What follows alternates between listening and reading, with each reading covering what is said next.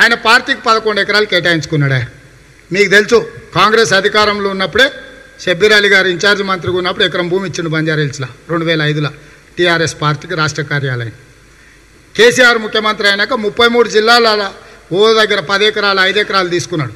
చివరికి గ్రేటర్ హైదరాబాదు కార్యాలయం కోసం కూడా మన మన బంజారా హిల్స్లో ఎకరం తీసుకున్నాడు. దాదాపుగా ఒక వంద ఎకరాలు ఇప్పటికే పార్టీ కార్యాలయాల పేర్ల మీద ఇక్కడ తీసుకున్నాడు. నరేంద్ర మోడీ ఆయనకు నజరాన ఢిల్లీలో అరెకరం ఇచ్చిండు. ఇప్పుడు మళ్ళీ గండిపేట దగ్గర పదకొండు ఎకరాలు తీసుకున్నాడు. ఆరు వందల కోట్ల రూపాయలు ఉండేది ముప్పై ఏడు కోట్లకో నలభై కోట్లకో ఇచ్చిండు. రాజకీయం ఏమన్నంటే రాజకీయ పార్టీకి ఇచ్చినాం చంద్ర రాజేశ్వరరావు ట్రస్ట్కి ఇచ్చినాం దీనికి ఇచ్చినాం దానికి ఇచ్చినాం ఈ పక్కనే బీజేపీలో కూడా ఇచ్చిన ఆస్తి ఉంది ఆడ కేసీఆర్కి ఇచ్చింది అన్నీ బాగానే ఉన్నాయి. ఈ ఆర్డర్ చూడండి. మాకు కాంగ్రెస్ పార్టీకి పెద్దలందరూ కలిసి ఇప్పుడు ఈ గాంధీ భవన్ మాది కాదు. ట్రస్ట్ది మేము కిరాయికున్నాం. నూట నలభై ఏళ్ళు దేశానికి స్వతంత్రం తెచ్చిన పార్టీ యాభై ఏళ్ళు కాంగ్రెస్ పార్టీ ఏలింది ఏం చేసిందంటే యాభై ఏళ్ళు వెళ్ళినా మేము పార్టీ ఆఫీస్ కట్టుకోలే. కిరాయికి ఉంటున్నాం ఈ గాంధీ భవన్ కూడా కాంగ్రెస్ పార్టీ కాదు. నెల నెల కిరాయి చెల్లిస్తున్నాం. లేక లేక భీమరావు వాడ ఈ పక్కనే ఐదు వేల ఒక వంద గజాలు పార్టీ ఆఫీస్ కట్టుకోనికే రెండు వేల నాలుగు తర్వాత రాజశేఖర రెడ్డి గారు ముఖ్యమంత్రి అయినాక మాకు కేటాయించింది. మాకు కేటాయించిన తర్వాత ఈ భీమరావు వాడలు ఉండే పేదలకు దాదాపుగా యాభై ఆరు వేల నుంచి అక్కడనే గుడిసెలేసుకొని ఉంటురు ఇది హౌసింగ్ బోర్డు వాళ్ళకి అలాట్ చేయనికలేదు.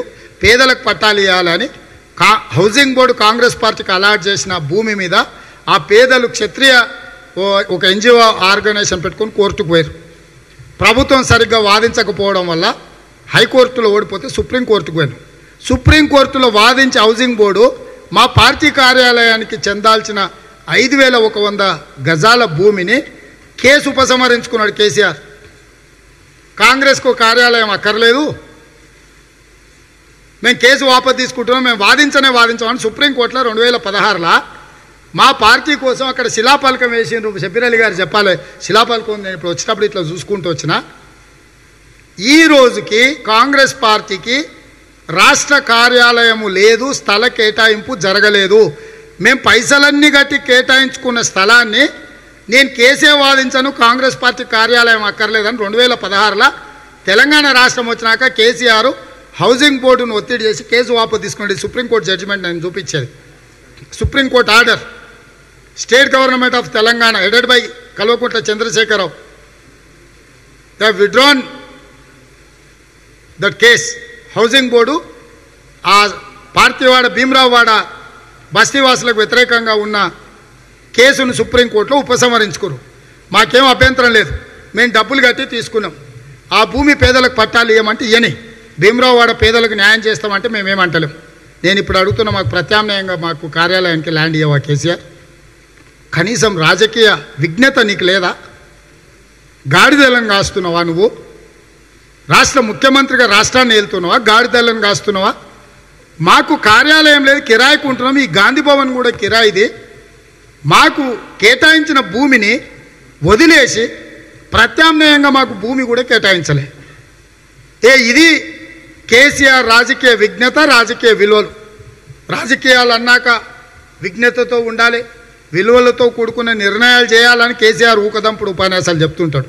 అందుకే నేను ఈ వేదిక నుంచి పెద్దలందరినీ ఎందుకు పత్రికా సమావేశంలో కూర్చున్నామంటే ఇన్ఛార్జ్ మినిస్టర్గా వారు సిటీగా వీరు పీసీసీ నడిపిన పెద్దలు హెజ హుడా చైర్మన్గా పనిచేసిన వాళ్ళందరూ ఇక్కడ ఉన్నాం. మా ఐదు వేల ఒక వంద గజాలు మేం ప్రభుత్వానికి పైసలు కట్టినాం. నువ్వు సుప్రీంకోర్టులో కేసు వాపసు తీసుకున్నావు. మా భూమి మాకు కేటాయించు మా పార్టీ కార్యాలయానికి. ఎంతకాలం కాంగ్రెస్ పార్టీ కిరాయి బిల్డింగ్లు ఉంటుంది? కాంగ్రెస్ పార్టీ నిజంగానే చేసుకుని ఉంటే కాంగ్రెస్ పార్టీ ఏదో తప్పులు చేసిందని చాలామంది మాట్లాడుతుంటారు కదా. చేసి ఉంటే పార్టీ కార్యాలయానికి అసలు మేము కేటాయించుకోకపోదుమా? కార్యాలయానికి స్థలం లేని ఆర్థికపరమైన ఇబ్బందులు స్థలం లేక కాంగ్రెస్ పార్టీ కొట్టుమిట్టాడుతుంది. ఇది కాంగ్రెస్ పార్టీ తాజా పరిస్థితి. కాబట్టి నువ్వు పదకొండు ఎకరాలు కేటాయించుకోవడం ఎంత దుర్మార్గమో మా ఐదు వేల ఒక వంద గజాల భూమి మా కార్యాలయానికి ఇవ్వకపోవడము అంతకంటే పెద్ద దుర్మార్గం. ఒకటే ఎకరమా మేము ఆడే మా మా కేటాయించింది. ఆ ఒక్క ఎకరం కూడా నువ్వు మాకు ఇవ్వవా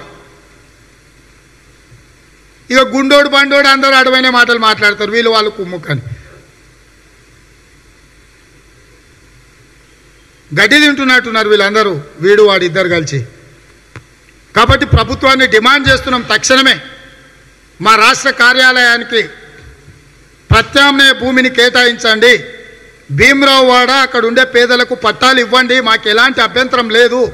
హౌసింగ్ బోర్డుకు మేము అయినా ఆనాడే డబ్బులు కట్టినాము. మా డబ్బులు రాష్ట్ర ప్రభుత్వం దగ్గరనే ఉన్నాయి హౌసింగ్ బోర్డు డిపార్ట్మెంట్ దగ్గర ఉన్నాయి. తక్షణమే దీనికి భూమి కేటాయించాలి. ఈ భూమి కోసం ప్రత్యామ్నాయంగా అప్లికేషన్ పెట్టుకుంటాం. మా పెద్దల హనుమంతరావు గారి నేతృత్వంలో చీఫ్ సెక్రటరీ గారిని తొందరలోనే కలుస్తాం. మా పైసలు ప్రభుత్వం దగ్గర ఉన్నాయి. పదిహేను ఏండ్ల పైన అయింది మా పైసలు వాళ్ళ దగ్గర ఉండి. మాకు కార్యాలయానికి స్థలం లేదు. మా కార్యాలయ స్థలం కేటాయించాలి. కేసీఆర్ నీకు ఏమాత్రం విజ్ఞత ఉన్నా విశ్వసనీయత ఉన్నా అని చెప్పి కాంగ్రెస్ పార్టీ డిమాండ్ చేస్తుంది.